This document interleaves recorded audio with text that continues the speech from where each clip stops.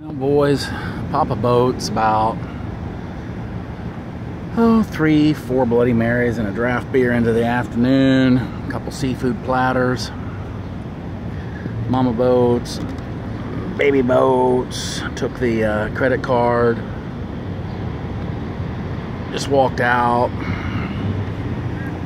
Handed me a wrapped canvas from some art store. I didn't even ask. Didn't even ask, boys. Didn't even ask. See, there's the canvas all wrapped up.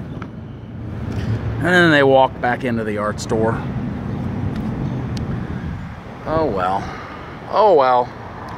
No worse than me losing freaking 9 out of 10 bets I make, I guess. At least this way you got something to show for it. If you've never been to Savannah, I'm telling you what, guys, Savannah is a really, really beautiful, beautiful, beautiful town. Highly advise it the next time you're maybe going to Hilton Head or Myrtle Beach or something like that. Take a day, stop in Savannah. You'll like it. www. Oh, starting to kind of get a little relaxed. GamblingForum.com.